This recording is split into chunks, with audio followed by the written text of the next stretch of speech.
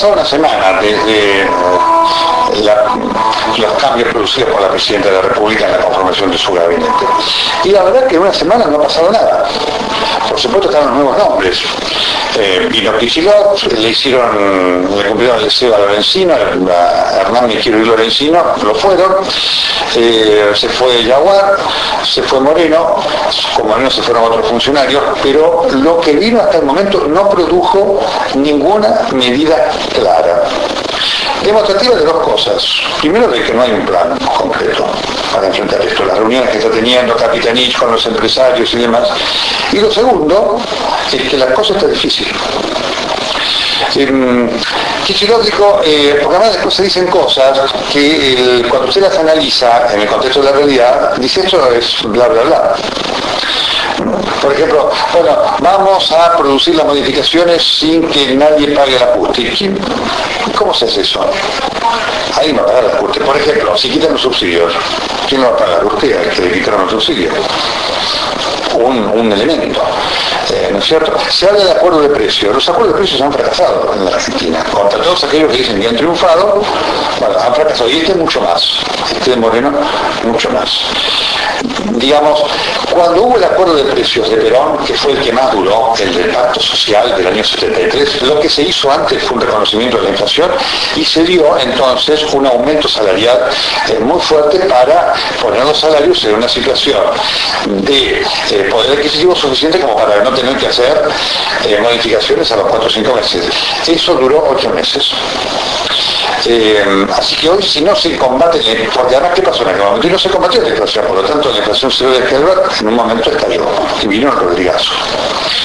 Acá estamos con lo mismo. Si no se combate la inflación, ningún acuerdo dura nada, ningún acuerdo dura nada. ¿Eh? Porque se empieza al revés. Entonces, para combatir la inflación, el gobierno tiene que corregir la emisión, para corregir la emisión tiene que corregir el déficit fiscal, y todo eso no lo va a hacer el gobierno.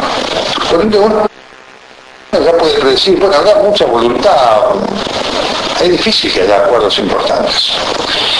Ayer la mañana en el programa de televisión nos dijo, eh, para fin de año va a haber eh, una cadena de pedidos, de bonos y demás, y va a ser inevitable satisfacerlos porque la inflación se ha comido parte de los salarios, aun cuando se haya eh, producido este aumento mínimo no imponible, para que tengamos idea de lo que es el, peso de la inflación. Por lo tanto, como venimos diciendo, ¿qué es profundizar el modelo? No lo sabemos hoy. Y como no sabemos qué es profundizar el modelo, el gobierno se enfrenta a la contradicción de decir algo que la realidad va a desmentir. Hoy el, Banco Central volvió a perder otros 100 millones de dólares. No ha generado la confianza como para no solamente hacer que la gente que tenga dólares los venda, sino para evitar la compra de dólares. Yo espero que en la semana la presidenta tome conciencia de esto, porque a veces un cambio de equipo económico, aunque, no, aunque el equipo económico no venga con medidas, produce una expectativa positiva. Esta no la ha producido. El dijo, vamos a crear 300.000 empleos nuevos. ¿Cómo? ¿Cómo lo van a hacer? Si lo que viene produciendo la economía es una destrucción del empleo. Entonces, eh, faltan las medidas. ¿Por qué? Porque la realidad le pone al gobierno a una contradicción permanente en este como en otros temas. Una semana de gobierno del nuevo gabinete, una semana sin medidas, una semana de incertidumbre. Una semana en donde las pocas cosas concretas que han ocurrido demuestran que es más de lo mismo. Capitanich se reunió con la Secretaría Oficialista, con empresarios, pero no lo hizo con el campo, ni tampoco con la CGT no oficialista. Em, por lo tanto, la voluntad que dijo la Presidenta de querer escuchar a todos, como ven, es bla, bla, bla. Ojalá la semana que viene le pueda decir, mire, se cumplió. Hoy es bla, bla, bla. Por eso Moyano, que a veces tiene frases eh, ingeniosas, dijo, Capitanich ha elegido el mejor camarote del Titanic.